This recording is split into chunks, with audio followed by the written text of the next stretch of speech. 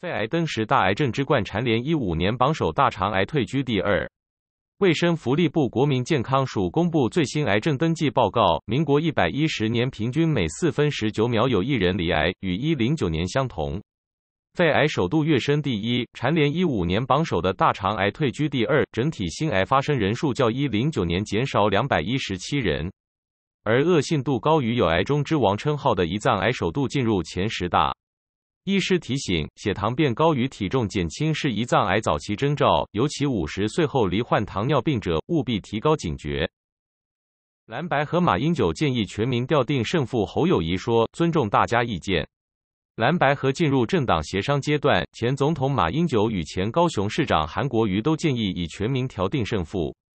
民众党总统参选人柯文哲竞选办公室表示，只要国民党与国民党总统参选人侯友谊愿以全民调方式整合，两党立即恢复政党协商。侯友谊说，党主席朱立伦提出的不管是日本或德国模式，都有涵盖这部分，希望政党协商能赶快协调出结果。白宫说，拜习会十五日登场，拜登将关切北京干预台大选。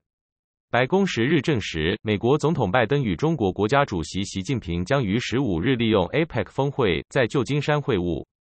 美国资深官员指出，拜登将利用机会向中国表达高度关切北京干预台湾选举，也会表达对中国在台海军事行动的担忧。这将是两人继去年十一月在印尼巴厘岛 G 二十峰会场边会谈后，魁违一年再次面对面会晤。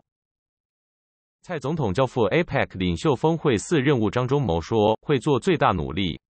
APEC 峰会即将登场，台积电创办人张忠谋第六度代表总统蔡英文担任领袖代表。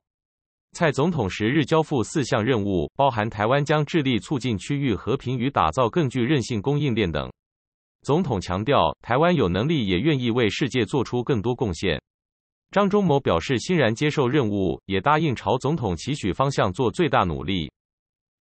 景气缓物价仍高，前九月实值总薪资年减零点七八 percent。主计总处发布薪资统计，今年前九月实值经常性薪资为新台币四万一四二五元，与年增零点一四 percent，但实值总薪资五万四千八百八十四元，与年减零点七八 percent，创近七年首见负成长，主因全球景气趋缓，影响企业发放奖金，加上当期物价仍高所致。另一方面，九月制造业加班工时连续三个月正成长，显示制造业景气缓步复苏。日本宣布拟拨款两兆日元补助晶片，I 台积电受益。日本政府表示，日本计划斥资两兆日元，促进具战略重要性的半导体和 AI 技术在国内生产。这是日本首相岸田文雄上周宣布十七兆日元经济刺激方案的一部分。这项计划中的支出将包括用于补助台积电新建熊本二厂的七千亿日元。美国预算僵局无解，联邦政府月中在面临关门危机。美国国会九月三十日赶在政府关门前最后一刻通过临时拨款法案，支应政府运作四十五天。共和党内及右派为迫使拜登政府削减开支，以扬言对任何避免政府关门的权益法案背阁到底。白宫管理及预算局九日要相关联邦机构做好因应今年第二次面临关门的准备，应对十七日可能有数百万公仆的无薪工作或放无薪假。东北季风接连报道，十七与十八日北台湾低温下探十四度。中央气象署表示，东北季风接连报道，十一日起到十四日，东北季风增强，水汽较多，桃园以北跟东半部地区要留意降雨。十四日东北季风减弱，但十六日又再度增强，预计十七日到十八日北台湾低温下探十四度。台湾大赛朱玉贤双响炮助桃园听牌威能地平中值最多 K 纪录或 MVP。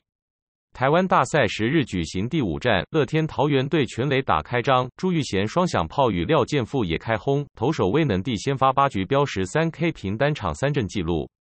中场乐天桃园以十一比零击败魏全龙，率先取得三胜听牌，最快十一日就能抛下封王彩带，挑战队史第八冠。大巨蛋夫三二年回顾台北棒球场演进史，说看台破洞照比赛与天母只盖了一半。台北大巨蛋自一九九一年开始规划，二零二三年十一月拿到使用执照，十二月举办棒球亚锦赛。在这漫长的三二年之间，位在市中心的老台北球场于二零零零年拆除。天母球场因为是社区等级，举办比赛有部分限制。球迷期盼台北市能有一座真正职业级与国际级比赛场地，只能寄望大巨蛋。在这座能遮风避雨的室内球场正式启用前，中央社带你回顾台北市棒球场演进史。开箱老照片，一一一一双胞胎大集合。二零零二年十一月十一日，台北县板桥国小在双胞胎日举办相见欢活动，邀请校内一对双胞胎老师与二十五对双胞胎和一组三胞胎小朋友分享成长经验与乐趣。